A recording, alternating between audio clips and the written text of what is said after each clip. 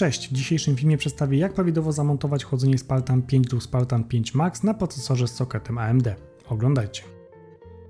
Zgodnie z wszelkimi zasadami bezpieczeństwa najpierw należy wyłączyć zasilanie za pomocą przycisku na zasilaczu, a następnie odpiąć przewód zasilający.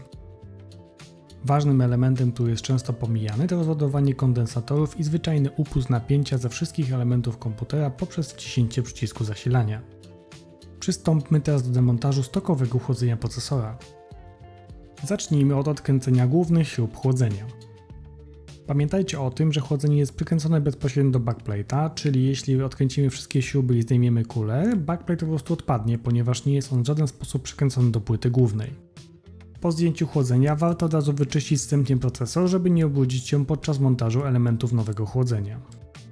Po wyczyszczeniu wstępnym przechodzimy do montażu odpowiedniego adaptera dla procesora AMD, który powinien być w komplecie z płytą główną. Jedną ręką trzymam backplate, a drugą próbuję zapać śrubkę od przodu. Jeśli macie płytę główną na wierzchu, będziecie mieć lepsze dojście. Ja montuję to bez wyciągania z obudowy, więc muszę wspomóc się drugą ręką. W momencie, gdy uda nam się zapać pierwszą śrubę, dokręcamy ją lekko i wkręcamy drugą. Jeśli nie dacie rady sami, poproście kogoś o podtrzymanie backplate'a.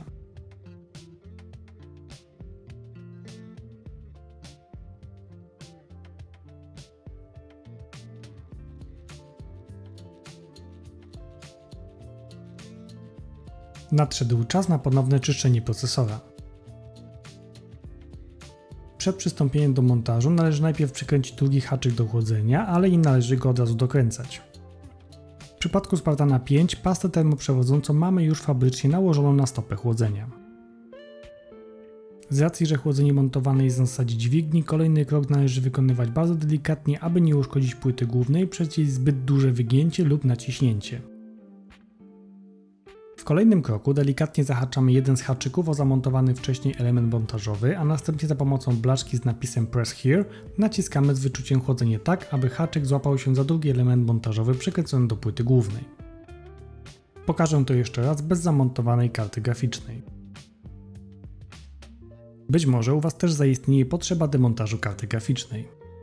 Na koniec pozostaje tylko dokręcić śrubę za pomocą wkrętaka krzyżakowego.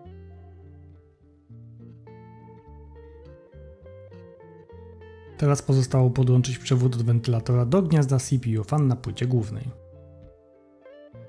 Możemy teraz ponownie podłączyć zasilanie i uruchomić komputer. Po wymianie chłodzenia dobrą praktyką jest wygrzanie pasy termoprzewodzącej, czyli kilkunastominutowe pełne obciążenie procesora, jednocześnie sprawdzając czy jego temperatury pod obciążeniem i w spoczynku mieszczą się w założonych normach. Jeśli film pomógł Ci zamontować to chłodzenie, to zachęcam Cię do komentowania, pozostawienia łapki w górę i subskrybowania kanału, ponieważ są one dla mnie motywacją do tworzenia kolejnych treści. W razie pytań pozostaje do Waszej dyspozycji w komentarzach. Dziękuję za uwagę. Cześć!